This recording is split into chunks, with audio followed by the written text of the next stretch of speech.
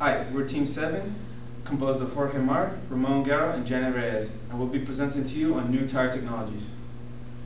Initially, uh, yeah, the advent of wheels really revolutionized uh, transportation for humans. It allowed people to move you know, much greater loads than they ever had before with far less effort. Uh, tires allowed people to really uh, maximize the potential of their wheels by both protecting and then improving tires. So initially tires were first developed when, after the advent of uh, room temperature vulcanization, which allowed Dunlop to produce tires that both increased the performance characteristics, things such as increased traction, reduced noise, and uh, you know, increased variability in tread wear. Apart from that, uh, for you know, various applications, there's been times, such as the NASA uh, Apollo missions, where new tires have been acquired that you know, were totally unheard of before their time. Uh, the lunar roving vehicle, the LRV, for example, required wire mesh tire, uh, tires, which were basically a wire mesh uh, that were surrounding a metallic hub, which allowed a tire that was both light, strong, and couldn't be punctured and would be able to survive the extreme environments of the lunar surface. You see as seen here. Tweel. Tweel was invented by Michelin in back in 2005. The design consists of a hub and a deformable wheel that connected by the flexible Spokes. spokes. These have elastic characteristic. When the wheel experiences a high stress or when it navigates through a rough terrain, it deforms. Also, this, flexible, this flexibility helps the tire to stay on the ground, which give extra, which provide extra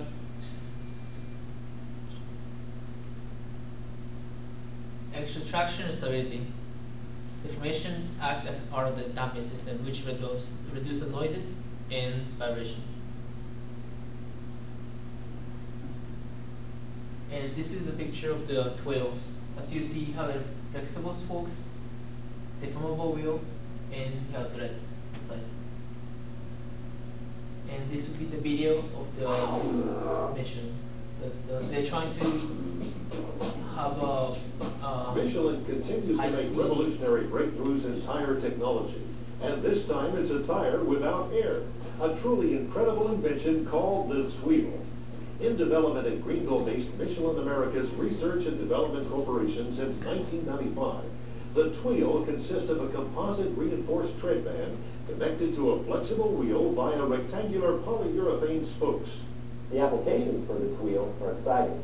Currently, this innovation is available for low-speed applications, such as the iBot wheelchair for disabled persons. It is also proven effective on the unique Segway human transportation device and on skid-steer loaders, greatly improving their performance.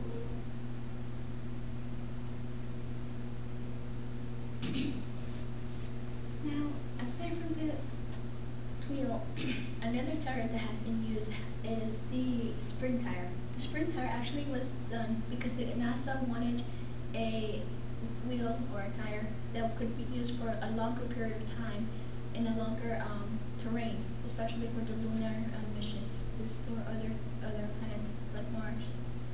Um, something very important about this design is that it's mainly used by 800 bearing springs.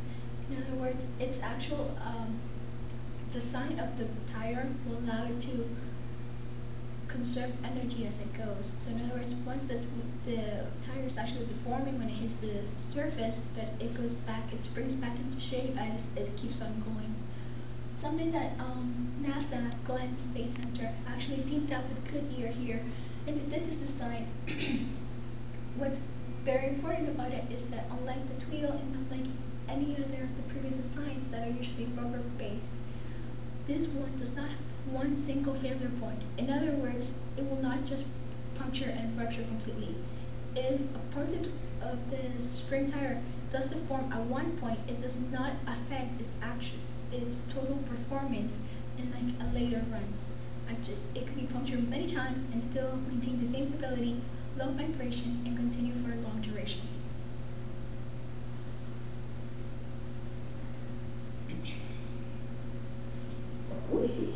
What we have here is a demonstration uh, of the spring tire technology, which will show how it can, uh, it's being developed from initially the, uh, the wire mesh, and then you see the further developments of the spring tire. They needed uh, hardware to, to roll. We make hardware that rolls in every form, and so I think it's a perfect marriage between two organizations.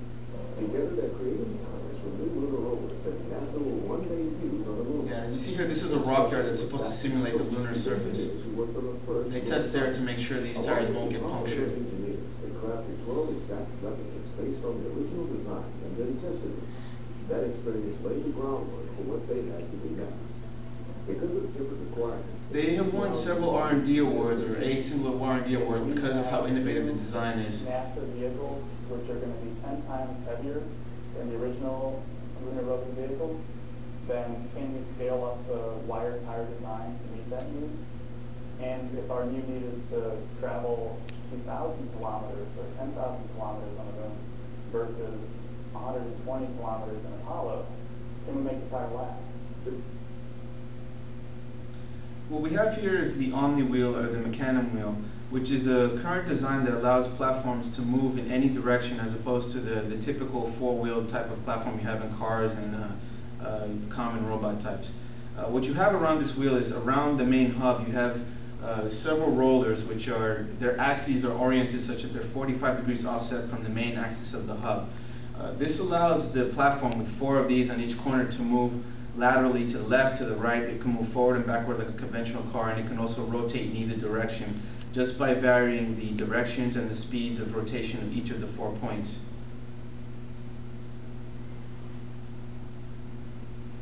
And we have here is you see that there's a demonstration of a wheelchair with these wheels mounted on it. And as you can see, he's moving laterally to the right just by rotating these two wheels in opposite directions. Now he changes the, uh, not him, but the software changes the rate of rotation and direction of each one, and it can pull off maneuvers which are impossible for a conventional steering uh, mechanism on like an Ackermann system for a car.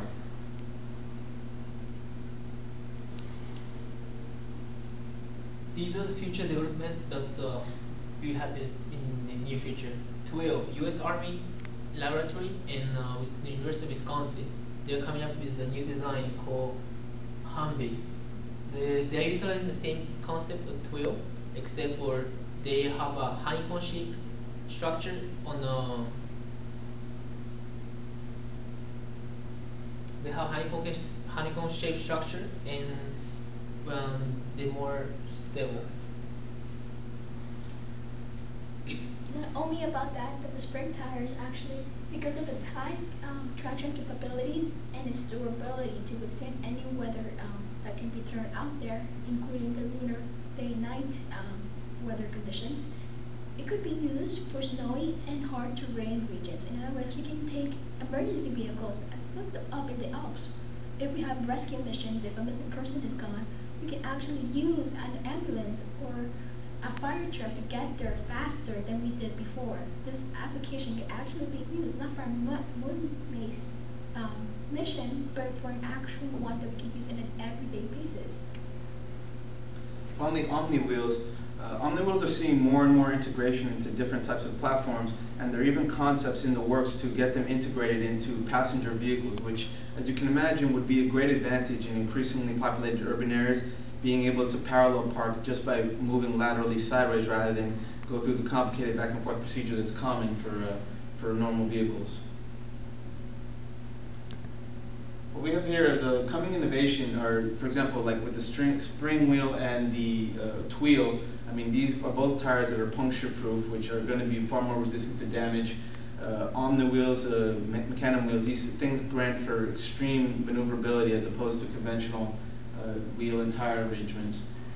Both of these wheels are going to integrate lots of new materials which aren't traditionally seen in wheel and tire design, such as the, the, the 800 springs in the spring wheel, the polymers and tweels, and the, uh, the various newer kind of rubbers and polymers in the Omni wheels. Thank you.